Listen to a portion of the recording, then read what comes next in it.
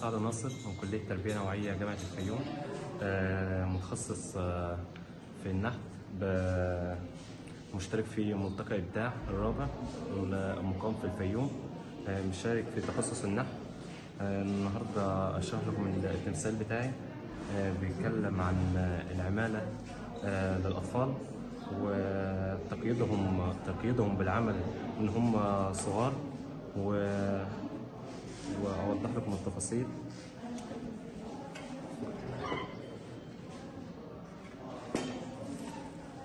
دي تفاصيل التمثال. دي بتعبر عن الخيوط عن قماش وملفوف حوالين وسطه وإيديه. ودي قماش ال- الملابس اللي لابسها. ودي جزء من الشعر. بس طبعا هو لسه مخلص في مرحلة يعني خلاص فاضل له تفنيش.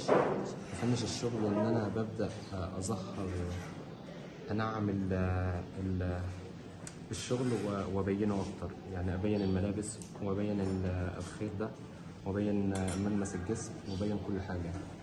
وده منشار بيعبر برضه عن التقييد بالعمل وكده وبخصوص المنشار إن هو لو تمثال ورجلين لسه طبعا دي تفاصيل قماش القميص اللي لابسه لا هو مفيش حاجة اسمها هي بص هي بتأثر على حالته النفسية وحالته ال- يعني في تعبير الوش بتعبر عن حزنه ومأساته في العمل وهو صغير وهو صغير. و ودي بعض تفاصيل التمثال في تعبير الوجه. بس لسه طبعا مخلص فاضل تفنيش حاجات بسيطة. بس.